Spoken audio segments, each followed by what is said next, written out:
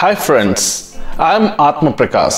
Today in this video, I will discuss the topic subject verb agreement or concord which is a regular item in almost all competitive examinations. Dear learners, every sentence has two essential parts the subject part and the predicate part. In a sentence, the subject is a person or thing that is doing the action. For example, in the sentence, Atma Prakash sir teaches English, Atma Prakash sir is the person. What is he doing?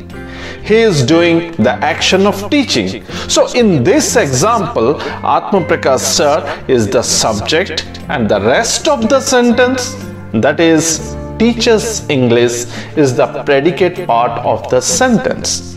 Predicate part of the sentence is that part that contains the action. Predicate part of the sentence is that part that contains the action. For example, teaches English is the action and it is the predicate of the sentence.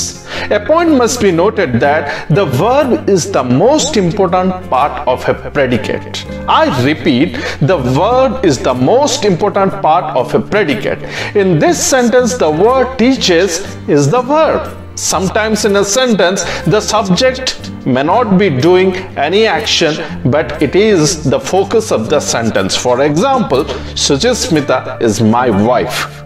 In this sentence, the person Suchismita is not doing any action, but she is the focus of the sentence. Hence, in this example, Suchismita is the subject and the rest of the sentence is the predicate.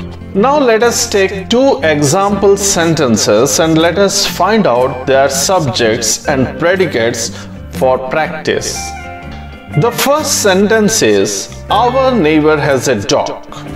Our neighbor is the subject and has a dog is the predicate. In the subject, our neighbor, neighbor is the head noun of the subject and in the predicate part has is the verb. Similarly, take another example. Ramachandra, the son of Dasaratha, ruled over Ayodhya for many years. My question is, who ruled over Ayodhya? It is Ramachandra, the son of Dasaratha. Hence, the subject is Ramachandra, the son of Dasaratha.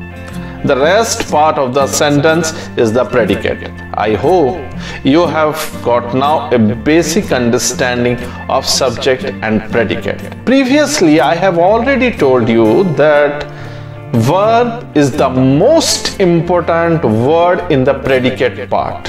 Now, what is the relationship between the subject and in the verb? And what does the word agreement has to play between the subject and the verb will be taught in the next video. Will be taught in the next section of the video. Thank you very much